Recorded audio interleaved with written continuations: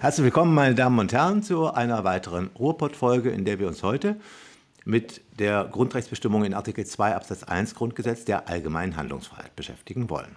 Artikel 2 Absatz 1 Grundgesetz lautet, jeder hat das Recht auf die freie Entfaltung seiner Persönlichkeit, soweit er nicht die Rechte anderer verletzt und nicht gegen die verfassungsmäßige Ordnung oder das Sittengesetz verstößt. Ursprünglich, meine Damen und Herren, sollte in dem Gesetzestext die Rede davon sein, dass jeder tun und lassen kann, was er will. Den Müttern und Vätern des Grundgesetzes schien das aber für einen Verfassungstext zu despektierlich und deshalb kam es zu der jetzigen Fassung, ohne dass damit was anderes gemeint gewesen wäre. Und in der Rechtsprechung des Bundesverfassungsgerichts hat auch genau diese Historie Widerhall gefunden. Das Bundesverfassungsgericht sagt nämlich, diese allgemeine freie Entfaltung seiner Persönlichkeit ähm, ist letztlich die allgemeine Handlungsfreiheit.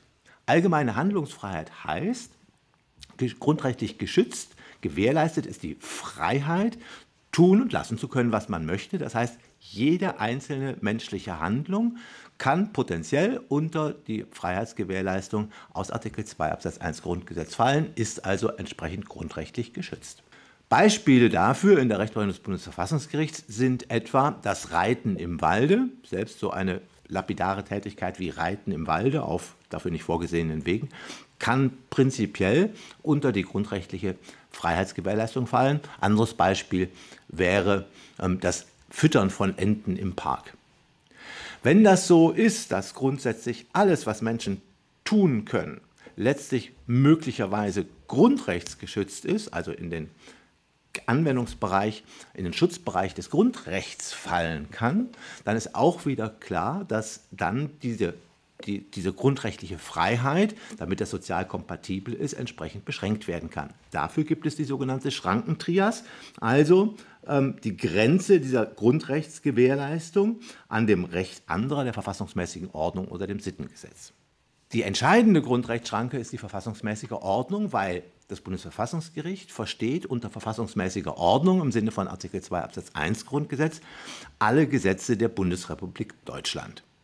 Und das heißt, dass letztlich jedes Gesetz eine Schranke der Grundrechtsausübung bildet. Das hieße aber, dass der Gesetzgeber völlig frei darin wäre, zu bestimmen, was, wie, wie weit die Freiheit geht und also ähm, letztlich diese Freiheitsgewährleistung aus dem Grundrecht unter einem allgemeinen Gesetzesvorbehalt stünde.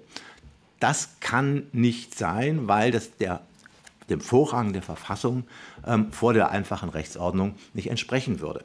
Um das wieder aufzufangen, ähm, hat das Bundesverfassungsgericht die Ebene der sogenannten Schrankenschranke entwickelt.